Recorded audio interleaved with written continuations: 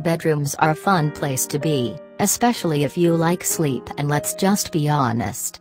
The horizontal mambo. Color plays an important role in mood so knowing what your purpose in the bedroom is before deciding on color is highly suggested. If your primary function is to sleep, then warm calming colors are must.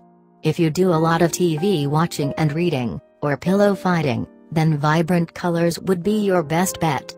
However, natural and artificial lighting are pretty important as well in the event that you eat, not encouraged, or read in bed or work at your corner office desk.